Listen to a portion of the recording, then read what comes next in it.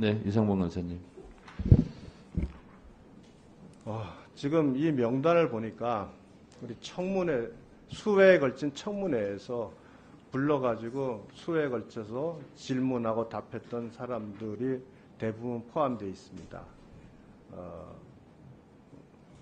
입, 입법 청원 청문회, 뭐 탄핵 청문회 등 모든 사안에 대해서 지금까지 정치적 정쟁을 위해서 수많은 증인들을 불렀고 어, 이어가면서 법사위에서 그 진행하면서 국민들로부터 정쟁만을 위한 법사위라는 비난을 받아가면서 우리가 지켜왔습니다. 아, 지금 국정감사는 기관의 지난 시간에 대한 업무에 대한 평가를 위해서 저희가 아, 진행을 해야 됩니다. 국정감사 로 인한 기관 중임만 해도 자그마치 168명의 부서장만 208명입니다. 이 많은 사람을 불러놓고 그 자리에서 정치적으로 쟁- 논쟁이 많은 사안들 또 의혹 제기에 불과하고 많은 그 논란이 발생할 수밖에 없는 이런 수많은 증인을 채, 채택을 해서 과연 우리가 예정하고 있던 국정감사를 국민들이 원하는 수준으로 제대로 진행할 수 있을지 크게 우려가 되- 됩니다. 더욱이 어, 국민의힘에서 신청한 40인 중에서 공통 증인을 제외한 단 한 사람 공통 증인을 제외하고는 모든 사람의 증인 신청을 어, 거부한다. 이거 되면 이거는 다수당에 일방적으로 그 모든 국정감사도 마음대로 진행하겠다는 그런 강력한 선전포고나 다름이 없습니다. 어, 지금까지 국정감사의 경우에 국정감사의 취지에 맞게 기관의 업무와 관련돼서 우리가 어, 집중해서 감사를 진행해왔던 것이 그동안의 모든 국회 관례였습니다. 그런데 지금 여기서 이 많은 증인을 채택하고 지금까지 법사위에서 논쟁을 벌이고 어, 국민들로부터 지탄받았던 많은 부분이 또다시 반복이 된다면 과연 에, 법사위가 국민들에게 더 이상 필요한 상임이냐 하는 말까지 듣지 않겠나 싶습니다. 다시 한번 이 부분에 대해서는 우리 민주당에서 어, 국정감사가 갖고 있는 본래 취지에 맞게 어, 증인 선, 선택을 해주길 바라고 그것이 이루어지지 않는다면 앞으로 우리 국민의힘에서도 어, 과연 이 국정감사를 제대로 어, 참여할 수 있을지에 대해 조차도 의- 네. 김성 간사님. 네. 예, 국정감사는 어, 윤석열 정부의 국정 운영에 대해서 아, 우리 국회가 국민을 대신해서 어, 그 올바름을 감사하는 그런 기간이라고 할 것입니다. 국민적 의혹이 너무나도 많습니다. 최근에 불거진 총선 개입 또 공천 개입 논란에서부터 시작해서 아직 밝혀지지 않는 사실이 많은데요. 우리 민주당에서는 그런 국민적 의혹이 있는 사실에 대해서 그 관련된 증인 또 참고인을 최대한 아, 채택하고자 채택하고자 애써왔다는 점을 아, 말씀을 드리겠습니다.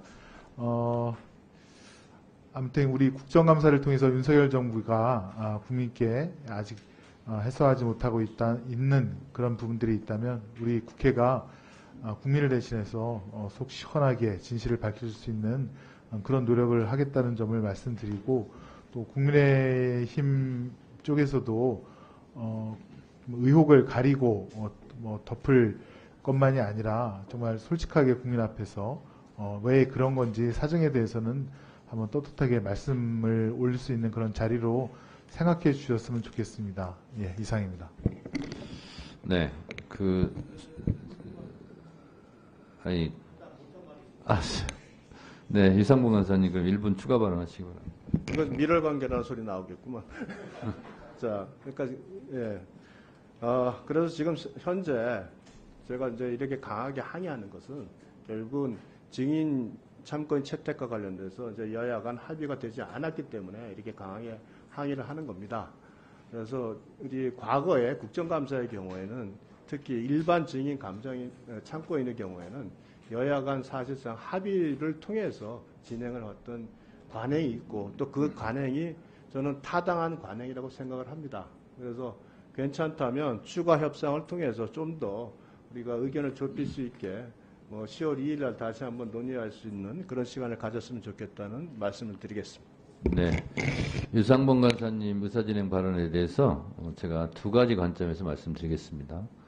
유상봉 간사님께서 말씀하신 대로 어, 형식적으로 합의가 안 된 것은 맞습니다.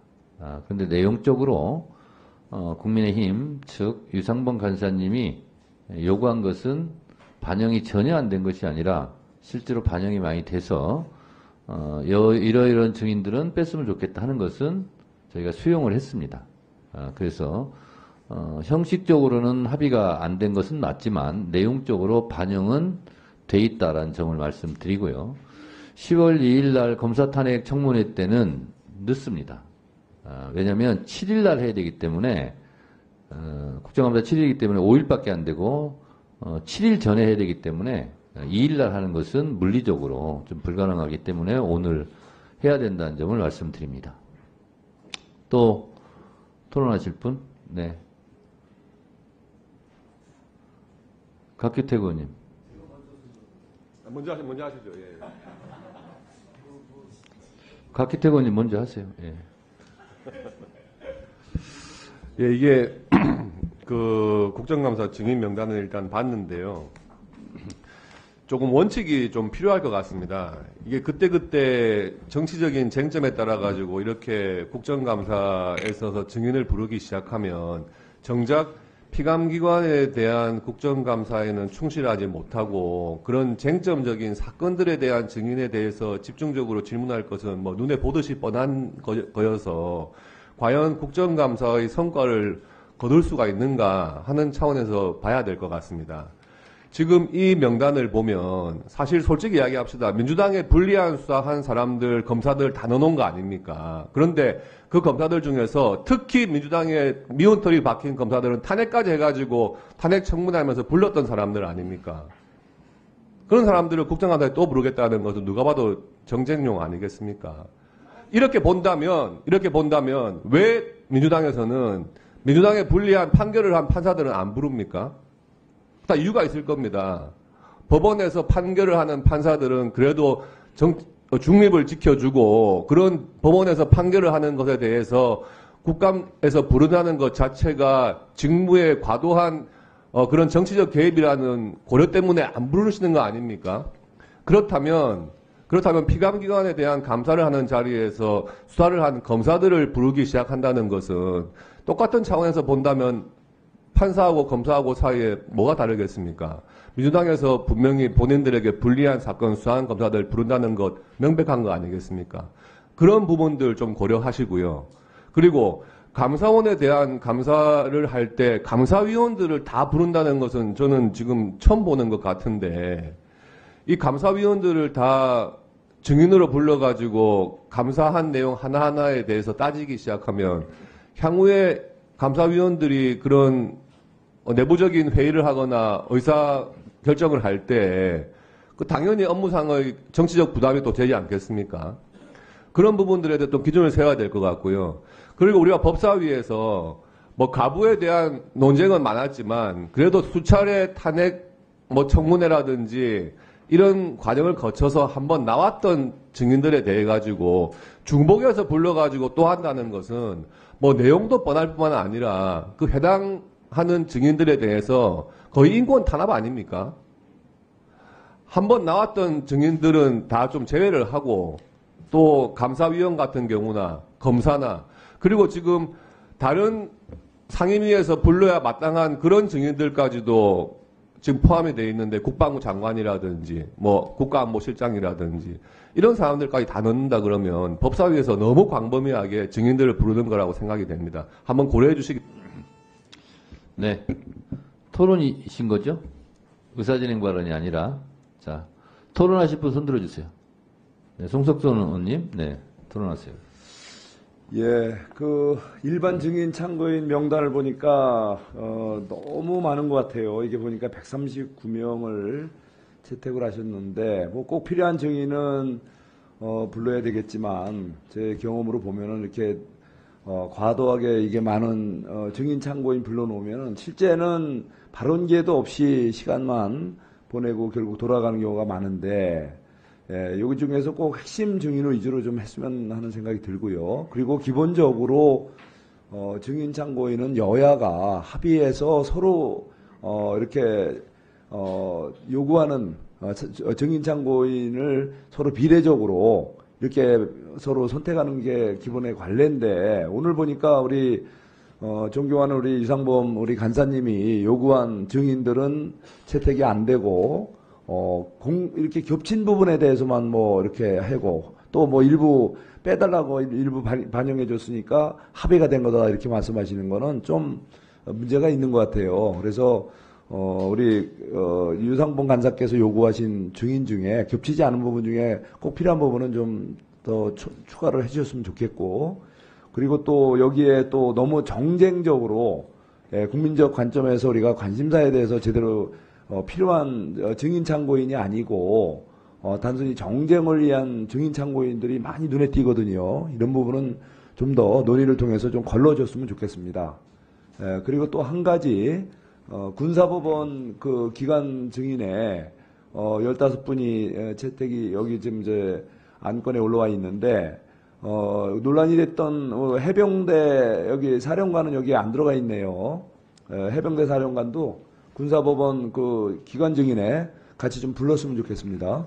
예, 그래서 최근에 우리 해병 우리 최상병 그 특검 관련해서 어, 우리 국민적 관심과 의혹이 큰데 어, 이런 와중에 지금 대한민국이 지금 안보 상황이 굉장히 위중한데도 불구하고 예, 지금 뭐 정쟁에 이 특히 그 최안보 일선에 서 있는 해병대가 어, 한복판에 정쟁의 한복판에 놓이게 됨에 따라서 이게 굉장히 심각한 안보 위기를 맞고 있습니다. 아, 그런 상황을 어, 그날 좀 한번 이분을 불러서 한번 좀 점검 좀 했으면 싶어서 어, 좀 양당 간사님께서 같이 어, 요 우리 해병대 사령관도 군사법원 어, 기관 중인으로 좀 같이 추가로 채택해 주셨으면 고맙겠습니다. 예, 이상입니다.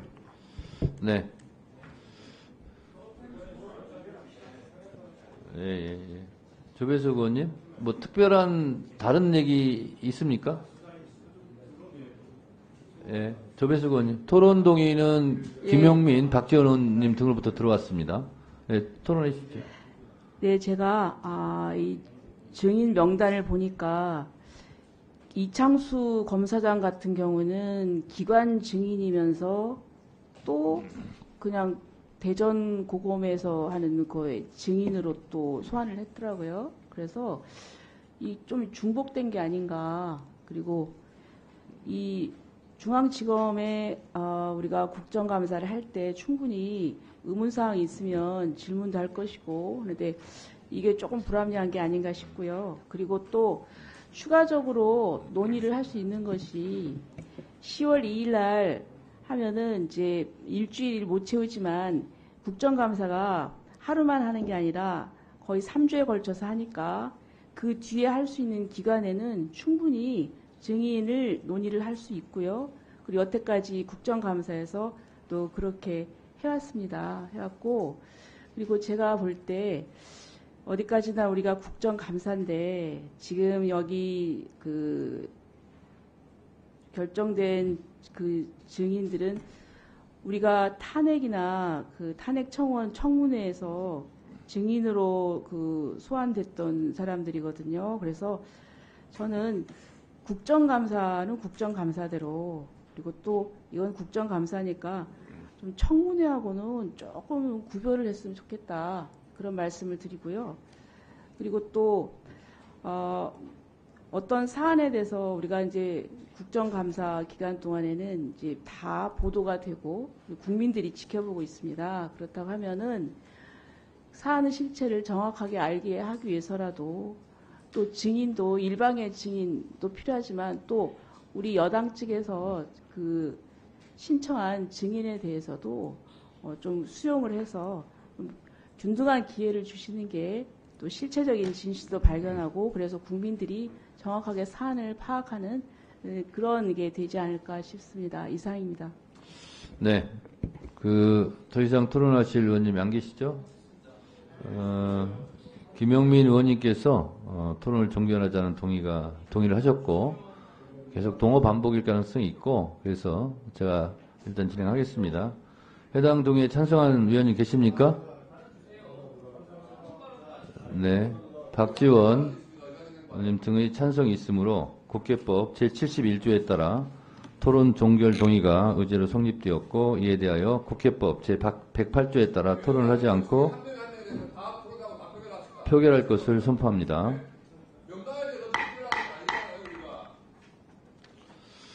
표결에 앞서 회의장에 계신 의원님은 모두 재석위원수에 포함된다는 점을 말씀드립니다. 그리고 방법은 국회법 제112조 및 제71조 단서에 따라 거수 표결로 진행하겠습니다. 먼저 찬성하시는 의원님들은 손을 들어주시기 바랍니다. 내려주십시오. 다음 반대하는 의원님은 손을 들어주시기 바랍니다. 내려주십시오. 표결 결과를 말씀드리겠습니다. 재석 의원 총 10인 중 찬성 10인으로 가결되었음을 선포합니다.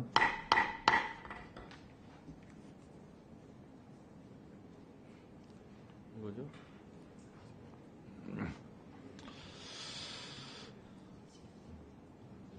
음, 네, 그러니까. 여러 위원님들께서 제기해 주신 의견을 종합적으로 고려하여 배부해드린 명단 중 기관 증인 376명, 일반 증인의 경우 1번부터 84번까지 총 84명, 참고인의 경우 115번부터 130번까지 총 16명에 대하여 출석을 요구하고자 하는데 이, 이의 없으십니까? 네, 이의가 없으므로 가결되었음을 선포합니다.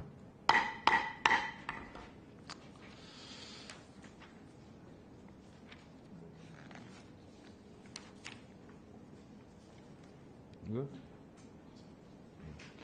또한 대법원장과 헌법재판소장은 국회법 제121조 제5항의 5항의 규정에 따라 국정감사장의 출석을 요구하되 감사, 감사 모두의 인사 말씀과 감사 마무리에 종합 답변을 했던 기존 운영 방식을 참고해서 구체적인 진행 방식은 간사님들과 협의하여 정하도록 하겠습니다. 그러면 지금 말씀드린 바와 같이 대법원장과 헌법재판소장 출석 요구의 건을 의결하고자 하는데 이의 없으십니까? 이의가 없으므로 가결되었음을 선포합니다.